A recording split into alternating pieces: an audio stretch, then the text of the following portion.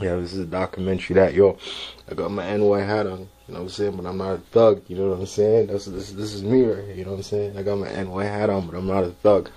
You know what I'm saying? I'm not a thug just because I have my NY hat on, you know what I'm saying? I'm, I'm a real I just love that NY stuff, you know what I'm saying? You know, I know the ladies love the NY. I ain't a thug though, you know what I'm saying? I don't be chilling with them with them thug mans, you know what I'm saying? On the blocks hustling, you know what I'm saying? You know, I put my hat backwards because, you know, this is part two. You know what I'm saying? Ladies need a little thug in their life, you know what I'm saying? But I could be that thug for them, you know what I'm saying? They need, a little thug in their life. Come on, ladies, gotta admit it, you know what I'm saying? You can't always have that softy doffy.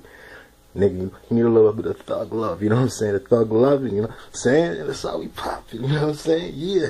That's how we get it, yeah. That's how we get it, you know what I'm saying? Every game just to watch you. And just to watch you.